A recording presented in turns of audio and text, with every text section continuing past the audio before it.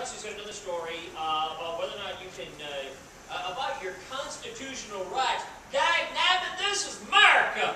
You, we have a constitutional right. If you find yourself a spit of sand someplace, it is your constitutional right to go there, drink pee, and drink beer, and then Drink pee. what?